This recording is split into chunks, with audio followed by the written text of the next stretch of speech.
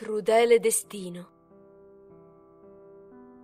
Passeggiando fra i verdi prati della pianura, il mio sguardo è rapito da un bambino. Uno sfortunato destino lo ha indotto a trascorrere il resto della sua vita fra carrozzina e passeggino.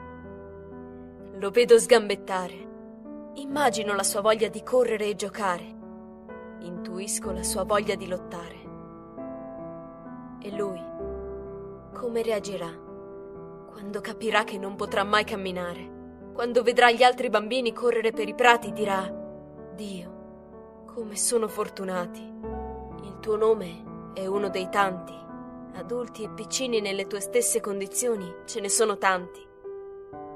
Vedo genitori e nonni piangere dalla disperazione, anche se giorno dopo giorno ti seguono con devozione al mondo qualcosa tu puoi ugualmente offrire. Non piangere, non soffrire.